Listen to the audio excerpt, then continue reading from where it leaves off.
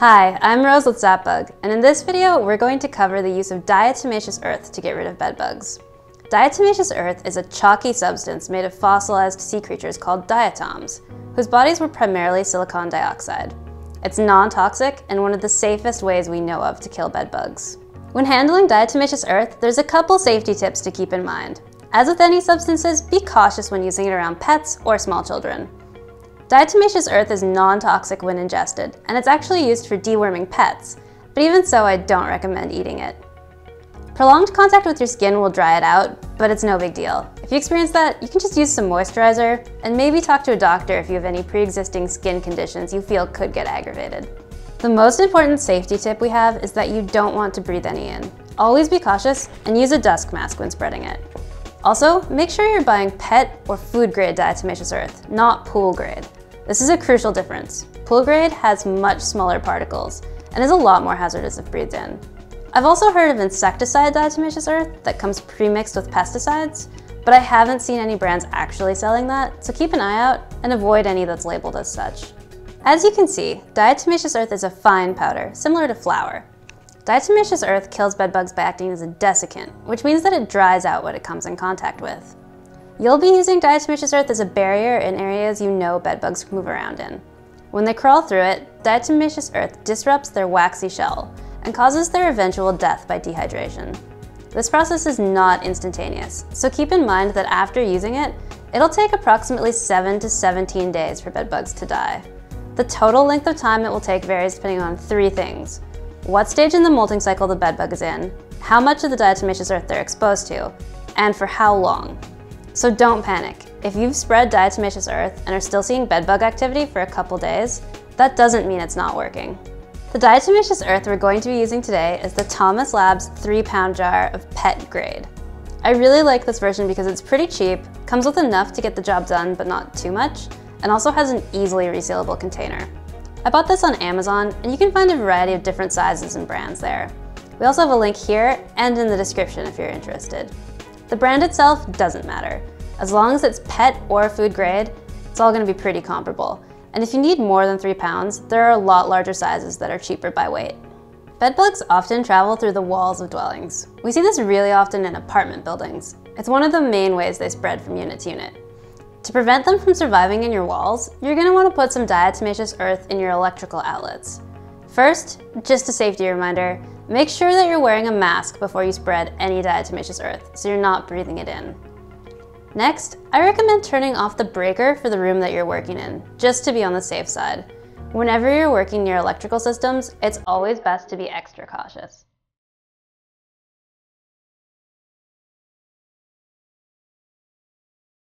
Now that the breaker's off, we can get started. All we need is our diatomaceous earth, a screwdriver to take the switch plate off, and a plastic spoon and duster to help us spread it. First, let's take the plate off.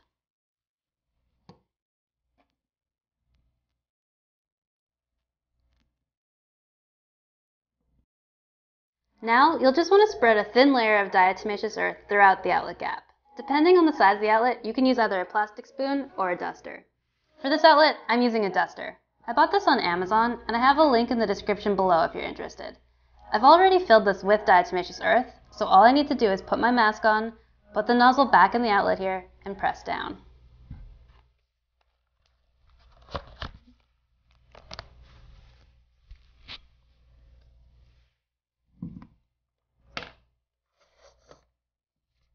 Before we put the faceplate back on, we're going to want to put a little diatomaceous earth on it as well. We don't need to go overboard here, but we want as much coverage as possible, just to make sure we're covering all of our bases.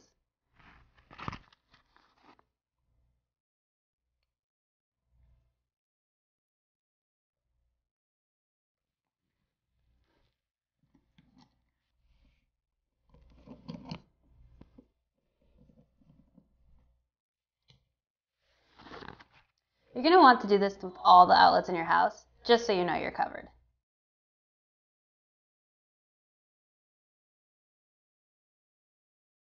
Another great way to use diatomaceous earth is to place it around the edges of your room.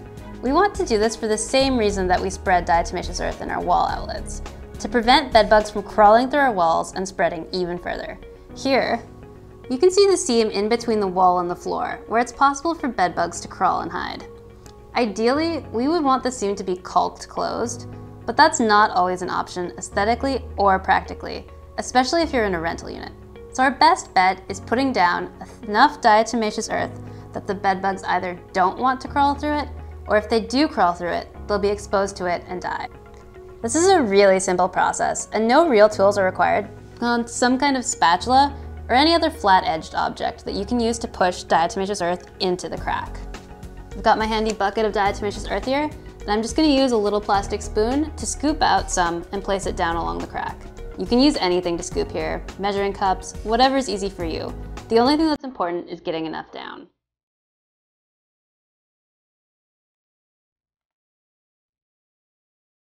Now, I'm just gonna use the spatula to push the dust back into the crack. It's that easy.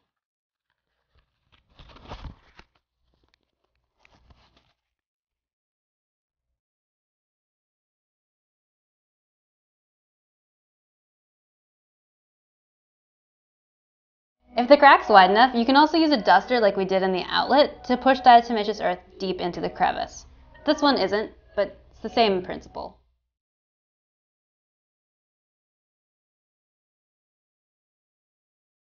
One of the best uses of diatomaceous earth is creating what we call a safe zone in your bedroom.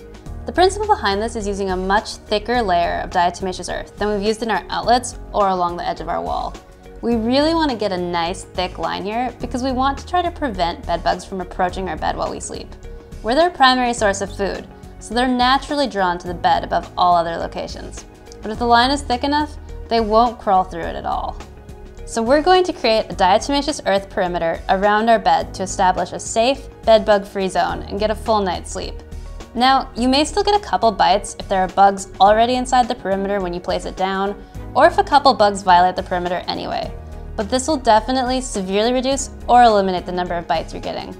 Also, keep in mind that bedbug bites can take a couple days to show up, so seeing bites after you create this perimeter doesn't mean it's not working. All we need to do this is, as always, our dust mask and any kind of scoop for the diatomaceous earth. A couple quick words about the dust mask before we spread anything down. It may seem counterintuitive to you that we're wearing a dust mask to spread, but then you'll be sleeping right by the diatomaceous earth after it's down. The reason for this is because diatomaceous earth is non-toxic when it's not being breathed in, and as long as there's nothing that'll disturb the dust, you're going to be totally fine. I wouldn't recommend putting it down in front of a heating vent or an air conditioner or something else that's going to disturb it. Now, I'm going to create my barrier.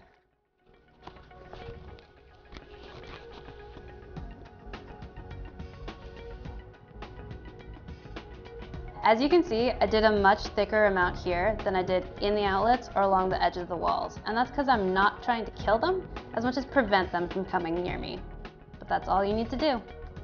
Now we're done, and you've successfully created a safe zone around your bed.